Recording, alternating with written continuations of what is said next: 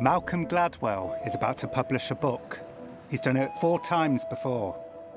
Whenever it happens, huge things occur. Millions of copies get sold. Policymakers use them to shape our world. Things change when Gladwell writes a book. Sometimes for good, sometimes not so good. Malcolm! Hello. This is the keys. Why haven't you got a doorbell? I never got around. All this while Gladwell leads a really small life, he says, as a semi recluse here in New York's West Village. His new book is David and Goliath. It's about the power of the underdog. Malcolm? Yes. Oh, come on. Well, oh, okay. One more. Our lives are based on lopsided conflicts, he says, and often it's the one you least expect who comes out on top.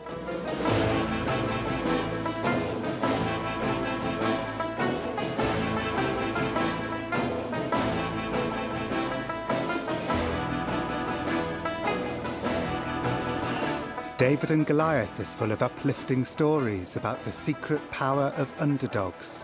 When you read it, you feel like you can topple giants. The funny thing is, and nobody really talks about this much, some of his earlier stories seemed really anti underdog. Who is Malcolm Gladwell, and why does he write the things he does? Do you get do you get nervous before you've got a book coming out? Um, uh, no, not really. I mean, the hard work is all done. There'll be some people who hate it. There'll be some people who really like it, and there'll be some people in the middle. I mean, it's always the same. It's not. There's no. There's no longer any kind of great uncertainty about how. You don't get nervous like, how is it going to be received and what kind of ripples might come from it? Because I mean, when I've got a book coming out, I am anxious about uh, everything. I'm anxious to, you know, are people going to like it?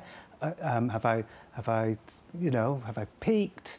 Um, have I got anything wrong? Did this not cross your mind? You might all? have more anxiety than me. I mean, the free world's not hanging in the balance. Lives won't be lost if I get a bad review. You know, I mean, I consider myself so far ahead of my own expectations.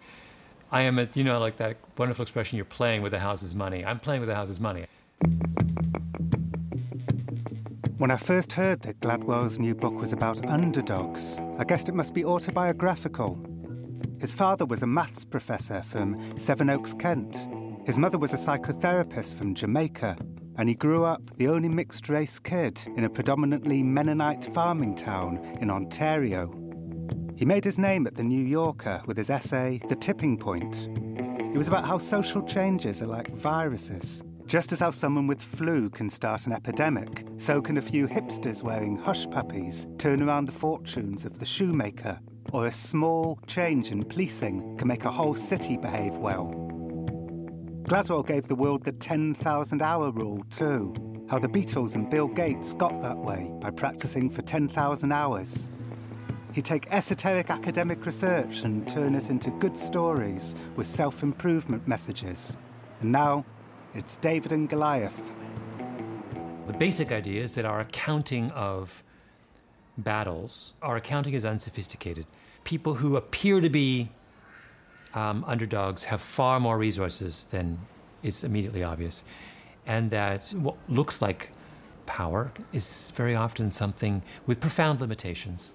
Um, and so I tell a series of stories that bring those points out. I have a chapter about dyslexia, which asks the question about whether you would wish dyslexia on your child, which seems like an absurd proposition, but then huge numbers of entrepreneurs are dyslexic. Richard Branson, I mean, the list is literally this long. And if you ask them about how they made it to where they made it, they will always say, not, it happened not in spite of their disability, but because of it. Because what doesn't kill you makes you stronger. If you can't read and you're in school and you want to make it, what do you do? What do you learn to do? Well, you learn to cheat. but what is cheating? Cheating is coming up with creative strategies for solving the problem in front of you, right? They all cheat. They all put together coalitions of friends to help them get through. They're all best friends with the smartest kid in the class, starting in the second or third year of school. You get really good at delegating oral communication. You talk your way out of every academic problem. If you abstract that and you say, okay, so if you spend your entire life doing that and you want to become an entrepreneur, you enter the world of business equipped with what skills? Skills of team building, oral communication, problem solving, and delegation, which are central to building businesses. So you see this kind of, in their stories, something really kind of rare and thrilling, which is that the response to adversity can sometimes, not always, have the effect of putting someone ahead of the game, um, ahead of someone who never had the adversity at all. I assumed that Gladwell was identifying with the underdog, the David, right up until I met the person who knows him best. Bruce Headlam was Gladwell's best friend growing up in Ontario. He's now the media editor of the New York Times. He told me something I really didn't expect. No, I, I think quite the opposite. He would see himself as a Goliath. What terrifies Malcolm, and has always terrified Malcolm, is the idea of the, the, the successful, the more dominant team falling. Uh, he's obsessed with Tiger Woods. I don't know. It's been an argument we've had our whole life. I mean, I've always ascribed my love of the underdog to kind of cheap sentimentalism. I mean, it's the kind of Hollywood uh, Mighty Ducks version uh, or Bad News Bears version. I don't know. He's always had this idea that if, if someone has attained a certain amount, like of Tiger success. Woods, of success, to watch them fail, he finds just heartbreaking. He was a competitive runner when he was younger. He was leading in a mile race and he thought he had it in the bag. And a runner beat him right at the end. And he wasn't, he just wasn't minding it. And that drove him crazy. Tortured him. Absolutely tortured him. So yeah, I would say that's a, you know, a fear a lot of successful people have. But I know in that one case, that ate him alive. When I asked Bruce, your, your best friend, he said that you're like a classic overdog. And he's the, like when you're watching sports games, he's always rooting for the underdog, and you're always rooting for the overdog. I do, but I have a I regard my position to be morally superior. So in a sporting contest, the underdog expects to lose. The favorite expects to win. So if the favorite loses, it is a catastrophic, emotionally heartrending loss. And the only empathetic position I realized at that tender age was to cheer for the overdog because you, if, your if your goal in life is to minimize the amount of pain that goes on in the world, right, you should always cheer for the favorite. But the underdog doing well, the kind of little guy beating the big guys, you know, it's such a, it's a great, it's a great story. It's a great narrative, and we all get really moved by it. Does that mean we're all being kind of completely irrational when we're rooting for the underdog? No, I mean, I, you know, I, I, I bracket sports as a very particular case where um, there's something very human about wanting in other realms the less powerful to win because it um, it seems more just, right? You can't have people who have all of the resources win every contest because then the world no longer makes any sense. There's no point for us to go on if the same people are always the expected victor is always the victor. And really, the book is for because because you spend time in kind of Goliath circles, so I'm kind of assuming that the book is for both sorts of people. Do I spend time in Goliath circles? You, well, you do, right? You. I don't know if that's true. I'm Well, trying you- to think of a Goliath circle that I spend time in. Well, you give you give these public speaking talks at kind of you Oh, know I know that was a CEOs and Oh, I see what you mean. Um, well, I, you know, I like, I yes, I'm a fellow traveler, I suppose, in Goliath circles. Um, when I think of Goliath circles, I was thinking of something quite more glamorous than my life. But um, uh, you like bodybuilders.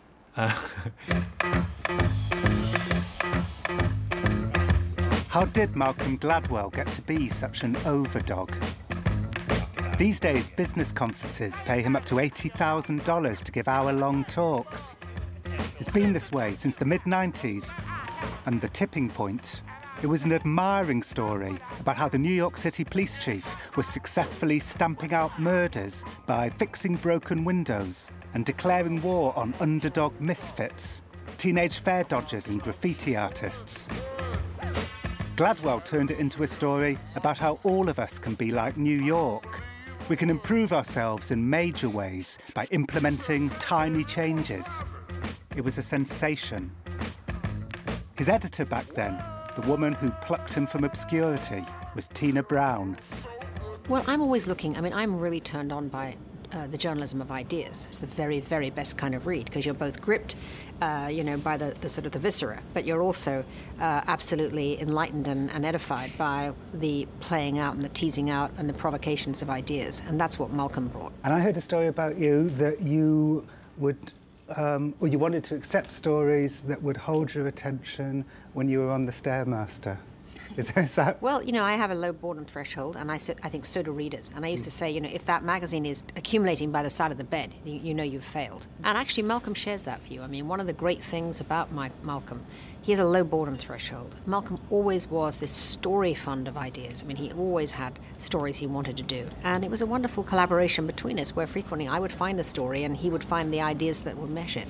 Are you tough? Do you actually get on a Stairmaster and, and, and somebody's like, you know, telling you a story and you go, you're boring no, me? Of course I'm not. No, no, but that. I get up early and I do exercise. And so his first big story was The Tipping Point. The Tipping Point was another one of these stories that kind of generated from the news. There was stories about the crime crime surges, and I think what interested Malcolm was why. You know, what, hap- what, what, what happens with a crime surge? Why is there? Why is one block okay and another block not okay? Yo, Adam. Adam, semi-conscious, 1484 Amsterdam. 14. In 1992, there were 2,154 murders in New York City and 626,182 serious crimes. It was a dangerous city, which people forget. It was a very dangerous city, and crime was just what you live with every day. The scream of those police sirens was part of the music of one's night. And, uh, you know, I look back on that time and think, you know, what a kind of, it was a very dirty place. But then something strange happened. At some mysterious and critical point, the crime rate began to turn. It tipped. Within five years, murders had dropped 64.3% to 770, and total crimes had fallen by almost a half to 355,000. Somehow, an awful lot of people in New York got infected with an anti crime virus in a short time.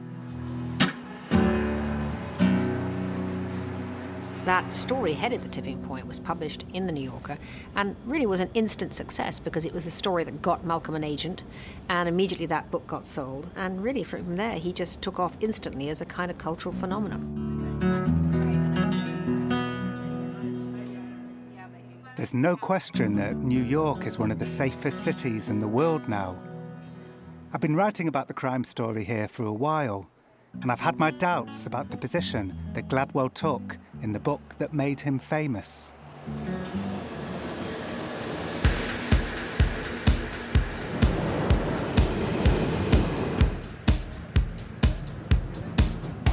The zero tolerance approach created in the 90s by Mayor Giuliani and his police chief William Bratton had a name. They called it Broken Windows. A few months ago, I was working on a story in the Bronx and I met a defense lawyer up there. I said to her, Isn't it amazing that those tiny policing changes made such a huge difference? A dark look crossed her face. She said, You got that from reading Gladwell, right?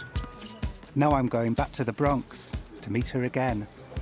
Crime dropped, policing practices changed, but there's just no data causally linking them. No, just no connection major crime decreased. It decreased precipitously through the 90s, um, through Giuliani's two terms in office. So Giuliani and his police chief must have said, well, this is because of our broken windows policy. Absolutely. Wouldn't you? I mean, that's a natural connection to make. Yeah. There have been numerous studies that have attempted to prove the theory that it was New York's policing practices that caused the drop in crime. The Atlantic published an article by a sociologist named David Greenberg. He went through all of the studies, you know, so far that have attempted to prove this causal link, and he concluded again the data isn't there. But it seems that what the new aggressive policing did cause was the criminalizing of a generation For the slightest offences, people were getting